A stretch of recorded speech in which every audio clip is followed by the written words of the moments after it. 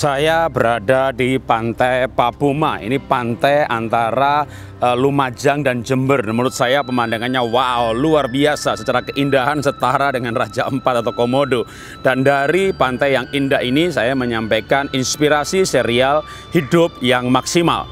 Saya berada di pantai Papuma antara Lumajang Jember yang indah ini dari tempat wisata ini, wais, inspirasi kinclong, mengalir ide ya. Saya mau sampaikan inspirasi mengenai hidup maksimal. Bagaimana orang bisa hidup maksimal, sukses dan bahagia? Bukan terkenal tapi kesepian, kaya tapi nggak bahagia, sukses tapi stres. Hidup maksimal adalah mencapai pencapaian yang luar biasa dan dijalani dengan bahagia. Maka kita perlu belajar yang namanya mengatur diri sendiri setelah kita mengerti minat bakat talenta kita, kita perlu mengatur waktu kita. Waktu itu sama antara orang kaya sama miskin, orang berhasil sama tidak. Waktunya sama satu hari 24 jam. Siapa yang bisa menggunakan waktu dengan baik, itulah yang hebat dalam hidup ini. Bagaimana kita bisa menggunakan waktu dengan baik? Maka tips pertama saya ajarkan untuk membuat daftar yang harus dilakukan. Kalau waktu saya kerja dulu di, di coaching di Astra Internasional, saya di coaching maka di istilahnya diberi setiap malam membuat things to do tanggal hari besok. Kita bikin daftar apa yang harus dilakukan. Sebanyak mungkin kita ingat apa yang harus dilakukan minggu ini atau besok. Lalu kita susun urutan prioritas. Lalu kita kasih tanda mana tugas itu yang kita bisa wakilkan atau serahkan atau kompori orang lain supaya kita bisa melakukan yang lain. Nah, kalau kita punya tujuan, kita punya prioritas, maka kita itu akan efektif menggunakan waktu. Kalau kita nggak punya things to do, ya kita nggak punya daftar apa yang harus dilakukan.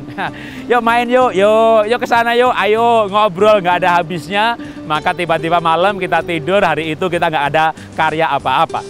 Kalau kita punya daftar yang harus dilakukan, lah tapi gimana Pak kalau saya nganggur? Ya baca buku yang baik, bikin mengembangkan bakat, maka kita ngobrol itu ada batasnya pergi ke perapatan, ngobrol-ngobrol, nongkrong-nongkrong, oke setengah jam cukup ya. Kalau enggak ya kayak lima jam sampai ngantuk nggak selesai. Waktu kita habis begitu jauh, waktu berlalu nggak bisa diulang lagi. Orang lain belajar, orang lain berkarya, orang lain bikin tugas, orang lain bikin profile, orang lain bikin YouTube singkat, masukkan film singkat, masukkan YouTube yang ngelihat banyak, ratingnya tinggi, dipanggil TV, ha, naik. Anda cuma habis nongkrong waktu setiap hari lima jam di perapatan, waktunya habis.